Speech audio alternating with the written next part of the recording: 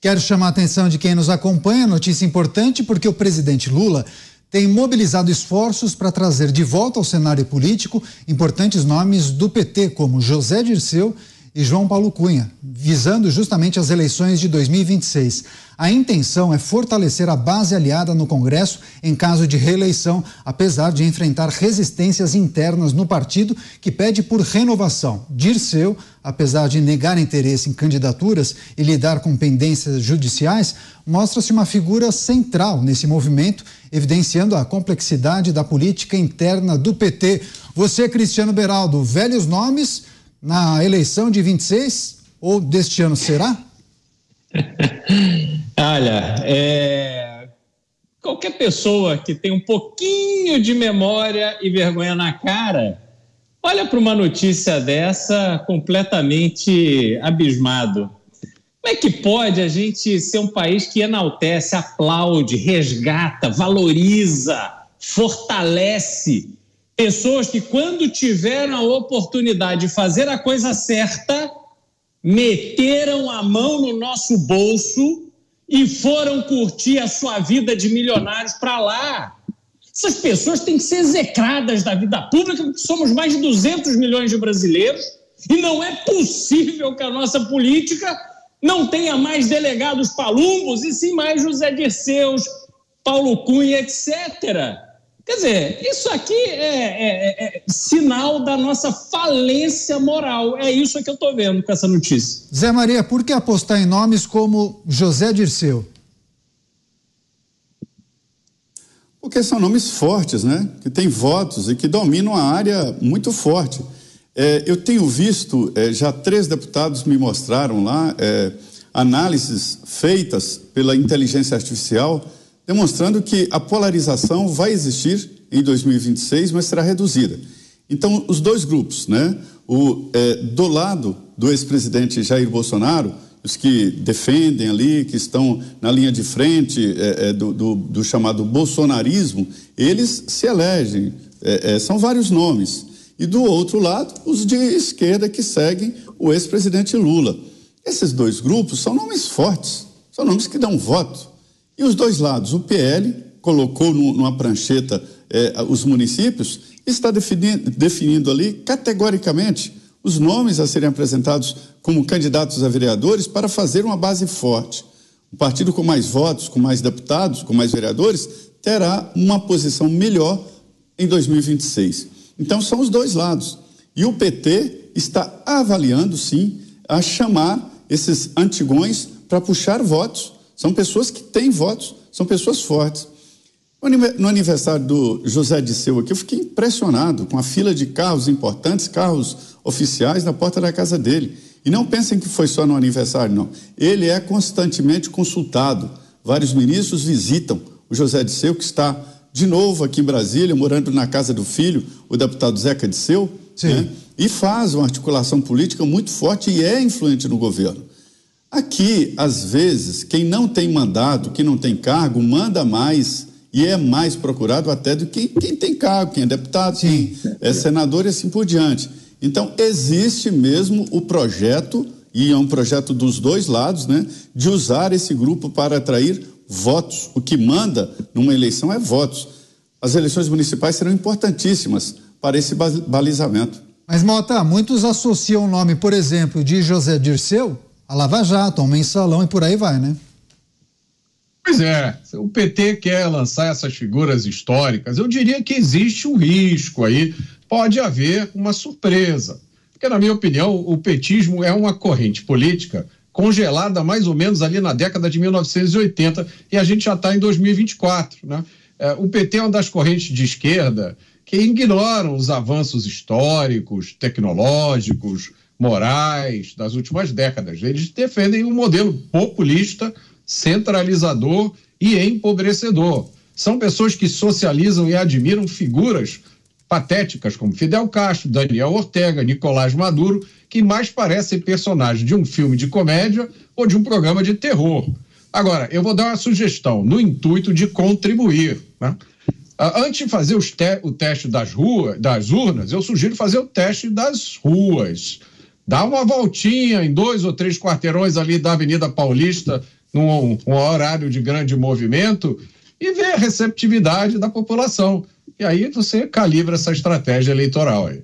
Delegado Palumbo, que o seu faro eleitoral diz respeito a essa aposta do PT resgatar os antigões, como disse Zé Maria? É, é surreal, inacreditável, né? São homens que tiveram envolvidos em vários escândalos no passado. É, é, eu vejo isso com muita tristeza, né? São sempre os mesmos no mesmo lugar. Só que a gente tem que lembrar que política se faz muitas das vezes com dinheiro. E dinheiro não falta para esse partido. Eles têm muito dinheiro. Aqui em São Paulo, que as pessoas falam, olha, a cidade mais rica do país. Aqui em São Paulo tem compra de votos, tem compra de líderes, tem compra em comunidades, onde você compra um líder. Eu passei por isso na minha campanha, eu fiz uma campanha muito simples, sem fundo partidário, sem absolutamente nada. E aí, quando a gente tinha algum apoiador, logo vinha alguém e já comprava esse apoiador. A política se faz por dinheiro. E eu não duvido que eles vão se reeleger e se reeleger bem. Espero, espero que não.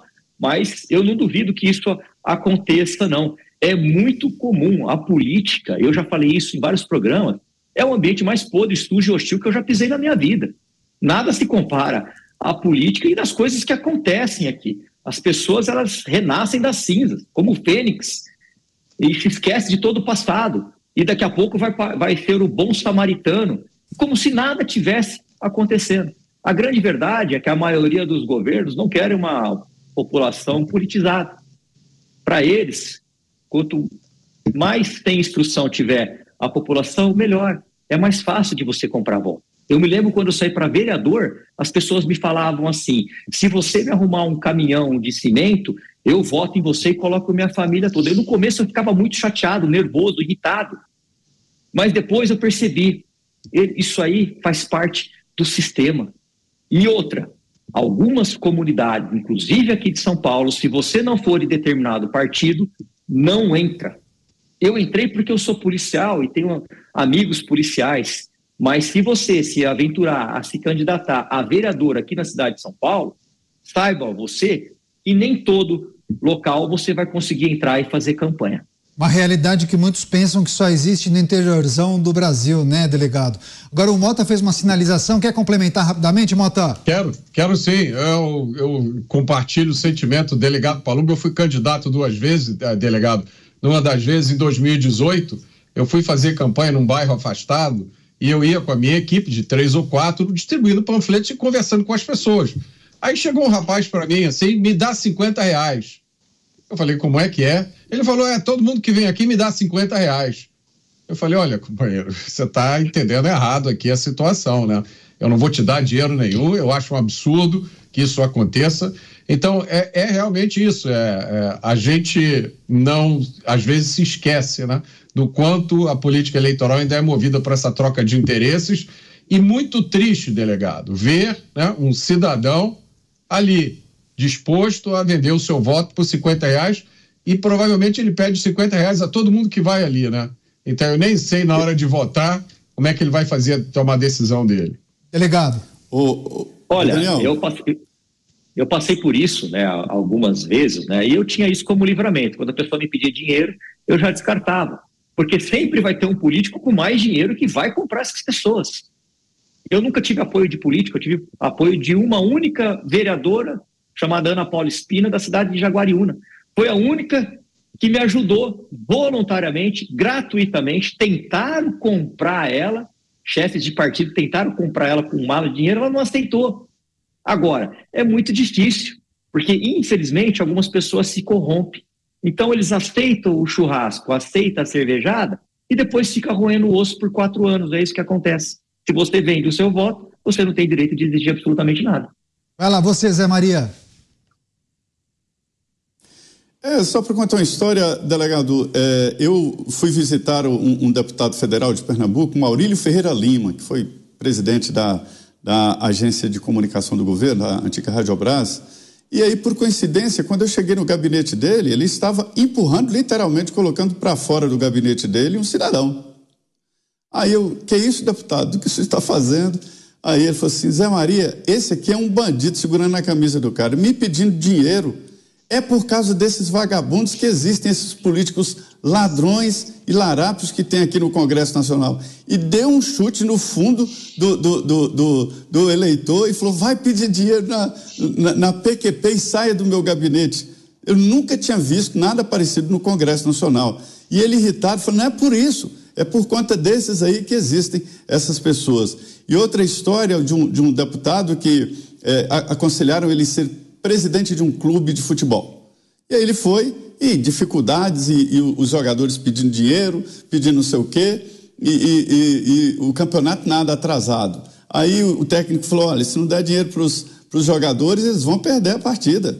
Aí ele arranjava financiamento, camisa, não sei o quê. No, na última pré-eleição, ele perdeu a paciência, foi lá no, no, nos vestiários e falou para o time de futebol: Olha, seus vagabundos, eu achava que a pior espécie de ser humano no mundo era vereador. Mas eu vou te falar, jogador de futebol é muito pior do que vereador. E aí acabou a carreira dele no setor futebolístico e de deputado. Zé Maria, se, se você me permite, rapidamente, aconteceu comigo há duas semanas atrás, onde um vereador foi até a minha sala, eu atendi ele, ele falou o seguinte para mim, na maior cara de pau. Se, olha, todo mês do Dia das Mães eu faço uma festa, então se você arrumar um fogão, uma geladeira para eu doar lá, eu vou conseguir uns votinhos para você. Eu falei, o senhor pode levantar daqui embora, porque eu não compactuo com esse tipo de política. Não dá. Então, está tão enraizado para essas pessoas que eles estão se acostumando com isso. Fora o lobby que acontece em Brasília, né, de gente que quer vender aparelhos, por exemplo, para hospitais, representantes, para depois receber aquela famosa bola dos 10, 15%. Isso é a coisa mais comum. Então é muito difícil aí o ambiente aí em Brasília e o, e o ambiente da política parece que é sorrisos, que é abraço, mas não. Os inimigos se abraçam e se esfaqueiam mutuamente pelas costas. Claro que a gente vai continuar monitorando essas movimentações, de olho nas eleições.